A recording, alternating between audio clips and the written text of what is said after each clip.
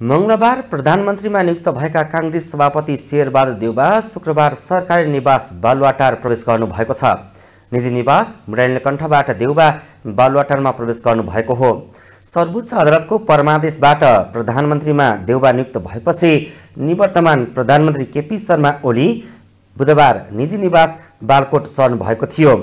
ओलीले पार्टीका अधिकांश बैठक सरकारी निवासमै राख्नु भएको थियो। शुक्रबार नै बालुवाटार प्रवेश गर्नुभएका देउबाले पनि पार्टी पदाधिकारीको बैठक सरकारी निवासमै राखेपछि बृहत नागरिक आन्दोलनले राज्यकोष दोहन गर्ने पूर्ववर्ती सरकारकै चरित्रलाई निरन्तरता दिन खोजेको आरोप लगाएको छ। एक रिपोर्ट। निवर्तमान प्रधानमन्त्री केपी शर्मा ओलीले साढे तीन वर्ष सरकार चलाउनुभयो ओलीले मन्त्री परिषददेखि सरकारी र पार्टीको अधिकांश बैठक प्रधानमन्त्रीको सरकारी निवासमै राख्नुभयो। पार्टीको सचिवालय बैठकदेखि स्थायी कमिटिका बैठक बालबाटारभित्रै रहेकै हलमा भए। पछिल्लो समय वरिष्ठ नेता माधव कुमार नेपालले सरकारी निवासमा राखेको बैठकमा नजाने बताएपछि एकपटक नेपालसँग वार्ता गर्न ओली धुम्बाराहीमा रहेको कार्यालयमै पुग्नु परेको थियो। धुम्बाराहीमा एमालेको सुविधायुक्त केन्द्रीय कार्यालय थियो तर ओली त्यता जान नचाहेर सरकारी निवासमै पार्टीका बैठक चलाइरहनुभयो।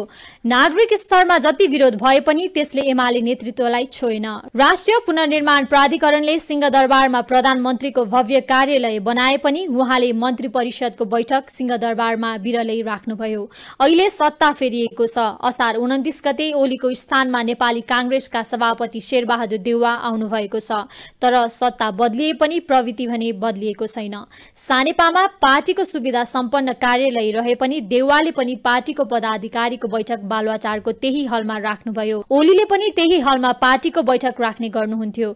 यसअगाडि देउवाले पार्टी पदाधिकारीका धेरै बैठक बुढा नीलकण्ठमा रहेको निवासमा राख्ने गर्नुभएको थियो।